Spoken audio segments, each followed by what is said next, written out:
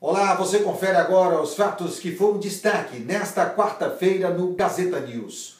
Uma criança de 6 anos perdeu a mão esquerda depois de estar brincando com fogos de artifício. O caso aconteceu em Fort Lauderdale.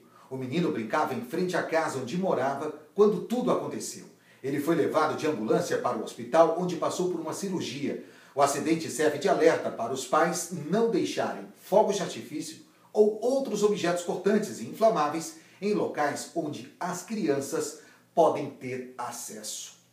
E um outro caso envolvendo criança aqui na Flórida terminou em morte. Olha só, um bebê de apenas sete semanas foi deixado trancado por oito horas dentro de um carro na cidade de Manchester, na região do Golfo. Segundo a polícia, a mãe teria voltado da igreja para casa e acabou deixando o recém-nascido trancado dentro do carro sob um calor de 40 graus.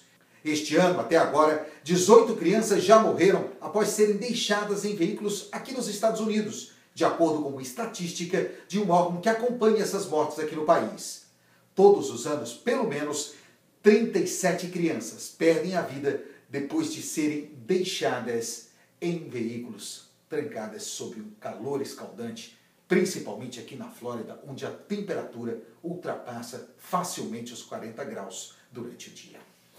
E o caso do brasileiro que está internado em um hospital na Tailândia, ele deve ser transferido aqui para os Estados Unidos neste final de semana. Eduardo Chiani está em coma após sofrer uma grave queda de um penhasco no dia 28 de junho. Além de traumatismo craniano, ele sofreu uma fratura na vértebra. Eduardo, o pai, a mãe e a irmã, que moram aqui em Miami, tinham viajado de férias para a Tailândia. E já está valendo, desde o dia 1 de julho, o pacote das novas leis em vigência na Flórida. São 234 novos regulamentos.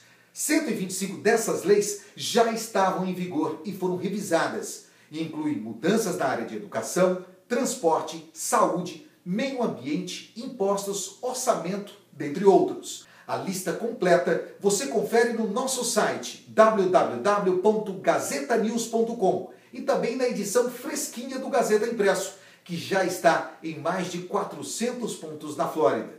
Pegue o seu exemplar e fique por dentro das novas leis aprovadas. O Gazeta Notícias desta quinta-feira vai ficando por aqui, mas a gente tem um encontro marcado amanhã às sete e meia da noite. Eu espero você.